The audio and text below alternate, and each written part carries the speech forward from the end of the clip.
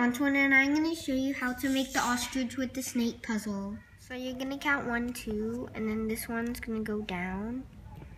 And then you're going to count one, two, three, four, and then this one's going to go here. And then this one's going to go here towards you, and then this one's going to go here. And then this one's going to come here, and then this one's going to go like this.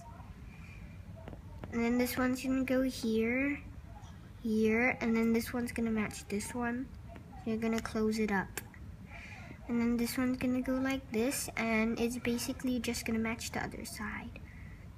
You like this, and then like this, and like this. And then this one's gonna go down. And this is basically just half a ball. And then this one's gonna go here. And then this one's gonna go down. And this one's gonna go here.